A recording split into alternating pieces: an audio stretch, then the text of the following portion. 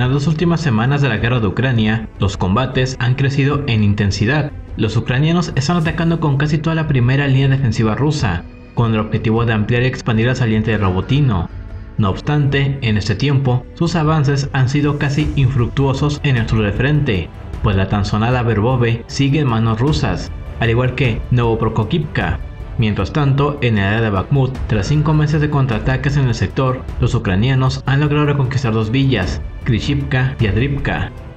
Imaginemos la situación para Ucrania, ya casi cuatro meses de ofensiva en el sur de Ucrania y casi seis de contraofensiva en Bakhmut, tan solo para hacerse con una serie de villas y usando reservas. El panorama no pinta nada bien, pues tal como se indica abiertamente en los diferentes medios, cancillerías y estados mayores del mundo, la ofensiva ucraniana sigue siendo tan lenta como el primer día. Krishivka y Adrivka y Rabotino son el premio de consuelo para una ofensiva que debió de terminar hace más de mes y medio y que debe desarticular el sistema defensivo ruso para tener vía libre hacia Melitopol y Verdiansk. Los objetivos operativos, cortando así el corredor terrestre ruso hacia Crimea, el objetivo estratégico, en ausencia de estos éxitos, como ocurrió en los primeros días de la ofensiva con ataques en territorio ruso o incluso el ataque a los astilleros de Sebastopol, un nuevo incidente ha tenido lugar en Crimea. Durante el fin de semana, los medios informaron sobre lo que denominan como el ataque más significativo por parte de Ucrania en la península, un evento que ha empezado a ser ampliamente comentado como un punto culminante en el pensamiento militar. El 22 de septiembre, las fuerzas ucranianas llevaron a cabo un nuevo ataque dirigido al cuartel de la flota rusa del Mar Negro, donde se lanzó un número aún no determinado de misiles Storm Shadow. A pesar de que los rusos afirman haber derivado algunos drones y que un misil fue interceptado, varios videos han circulado mostrando al menos uno de estos artefactos impactando directamente en la estructura. El Ministerio de Defensa ruso afirma que, antes del ataque que tuvo lugar a las 10.30 horas de Moscú, habían detectado otros artefactos. Esto sugiere que el ataque con los misiles Storm Shadow fue parte de una serie de ataques masivos planeados por parte de Ucrania contra la región. Las autoridades han afirmado que no fue resultado de la casualidad o la suerte, sino que Ucrania pudo haber mantenido una red de espionaje en la zona compuesta por civiles que proporcionaron información a las fuerzas ucranianas para llevar a cabo el ataque con éxito. A lo largo de este mes, las fuerzas ucranianas han centrado sus esfuerzos en dañar la infraestructura militar rusa en la región, utilizando cada vez más los misiles Storm Shadow y Scalp EG, proporcionados por el Reino Unido y Francia, respectivamente. El 13 de septiembre pasado, esos misiles fueron empleados para atacar los astilleros rusos, provocando incendios en dos barcos y daños a un submarino que se encontraba en reparación, este incidente fue interpretado por muchos medios como el inicio del declive de la Marina rusa, argumentando que los daños eran tan significativos que la flota del Mar Negro podría estar al borde de la desaparición. Sin embargo, es importante señalar que, aunque el golpe a las embarcaciones fue severo, no necesariamente implica el colapso de las operaciones navales rusas en la región. Los ucranianos están lejos de comprometer por completo a la flota rusa del Mar Negro, Además, aunque el cuartel resultó dañado, no fue destruido ni comprometido de manera irreversible. Se espera que una vez finalicen las reparaciones, el cuartel sea reocupado y las operaciones rusas continúen sin detenerse. Por lo tanto, este evento podría representar un revés a nivel mediático para los rusos, pero no supone un obstáculo insuperable para sus operaciones en la zona. Este evento parece tener un carácter predominantemente propagandístico, como se mencionó previamente, no ha tenido un impacto significativo en términos de poner a los rusos en una situación crítica o forzar la suspensión de todas operaciones en el Mar Negro, y mucho menos en el frente. Incluso el portavoz ucraniano de la Fuerza Aérea, Yuri Ignat, hizo comentarios al respecto después del ataque. Emitió un breve comunicado en el que expresó, para ser sincero, esperaba un agujero más grande. Este es el mejor anuncio del mundo para nuestras armas, que alcanzan con precisión su objetivo. Continuó afirmando, esto no solo afecta al núcleo de las fuerzas navales de la flota del Mar Negro, sino que también socava la autoridad de Putin. Todos lo verán, esto no se puede ocultar. Además del ataque con misiles, se produjo un ciberataque masivo. El asistente del jefe del gobierno, Oleg Kryuchok, mencionó que los proveedores de servicios de Internet sufrieron un ciberataque sin precedentes, que interrumpió varios servicios mientras se llevaba a cabo el bombardeo. Aunque Khrushchev mencionó que estaban trabajando en solucionar las interrupciones, no proporcionó información que confirmara si el ciberataque estaba relacionado con el bombardeo o si se trató de un evento independiente. El Instituto de Estudios de la Guerra, ISW, también informó que el ataque ucraniano logró dañar un centro de comando de comunicaciones ubicado en Verknosadove, en las afueras de Sebastopol.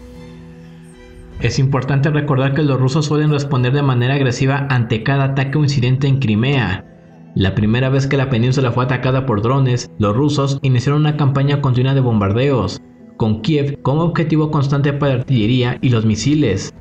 En un segundo intento, los rusos intensificaron esta campaña en el momento en que se afirmaba que los proyectiles comenzaban a escasear. Cuando el puente de Crimea fue alcanzado, los rusos respondieron con la destrucción de la infraestructura energética ucraniana. Al comienzo de la contraofensiva, se registraron ataques contra depósitos y almacenes en Crimea, lo que provocó una respuesta rusa que implicó la destrucción de sus contrapartes ucranianas. Incluso llegaron a destruir el almacén donde se guardaban los proyectiles de uranio empobrecido. Las respuestas rusas a cada evento en Crimea han tenido un impacto extremadamente negativo en Ucrania, y este caso no fue una excepción. Después del ataque, el Military Informant Channel informó que los rusos llevaron a cabo un ataque contra el aeropuerto de Kremenchuk en Poltava, utilizando un número significativo de misiles de crucero XKH-50. Este aeropuerto era utilizado por los ucranianos como almacén y base de lanzamiento para los misiles Storm Shadow, así como para los bombarderos Su-24M-MR, desde los cuales se realizaban los lanzamientos. Según este medio, todos los misiles y bombarderos habrían sido destruidos, y se informó la pérdida de una persona y al menos 31 heridos, incluyendo civiles, militares ucranianos, voluntarios polacos y personal de la OTAN. Es relevante resaltar que el personal de la OTAN desempeña un papel fundamental al proporcionar mantenimiento a los misiles y coordinar los ataques. Esto se debe a que los ucranianos carecen de la capacitación necesaria para operar los misiles Storm Shadow, lo que hace lógico que dependan de personal extranjero para su manejo y uso efectivo. Sumado a esto, la planta de ingeniería de transporte Malishia Kharkov, parte de Ukrovoronprom, que produce y repara tanques, motores de tanques y vehículos de combate de infantería para las Fuerzas Armadas de Ucrania, fue alcanzada por un ataque con misiles rusos. También fue atacada la cercana fábrica de productos metálicos de Frunze. El objetivo principal de Ucrania es evidente en este contexto, Numerosos actores, tanto ucranianos como europeos, han expresado sus preocupaciones sobre el posible fracaso de la contraofensiva, que, hasta el momento, ha durado cuatro meses y apenas ha logrado avanzar hasta la primera línea defensiva utilizando sus reservas.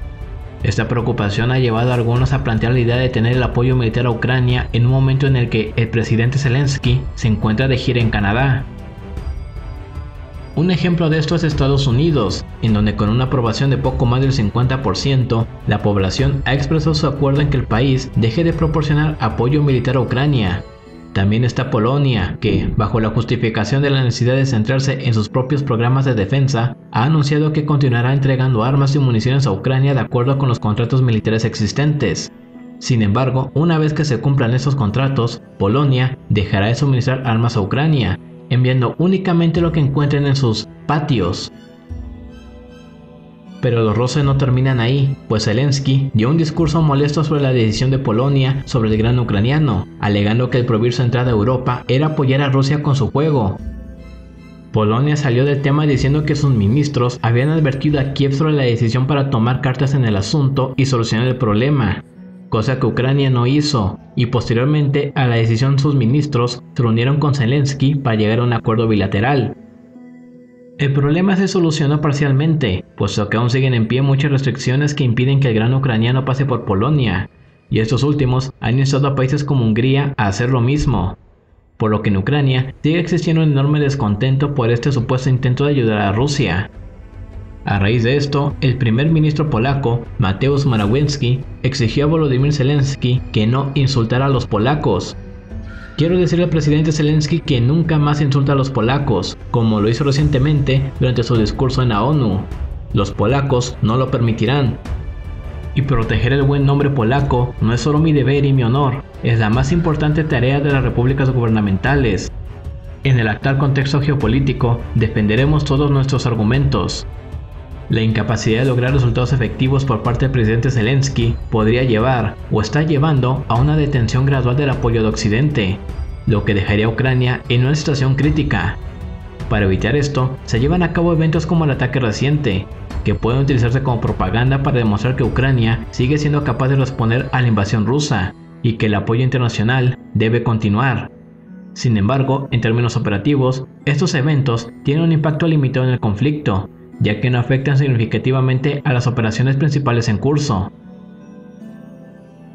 Para zafarse de ello, los ucranianos argumentan que esos ataques buscan cortar la línea logística rusa y debilitar a las fuerzas rusas en Zaporilla, pero hasta ahora esos eventos no han logrado un efecto permanente a nivel logístico. Por ejemplo, en el caso del cuartel, a pesar de haber afectado al edificio como tal, no afecta a la cadena de mando rusa en el Mar Negro, mientras que en el caso del submarino y los barcos en reparación no hay ningún impacto relevante en la línea del frente, que es el eje principal del conflicto.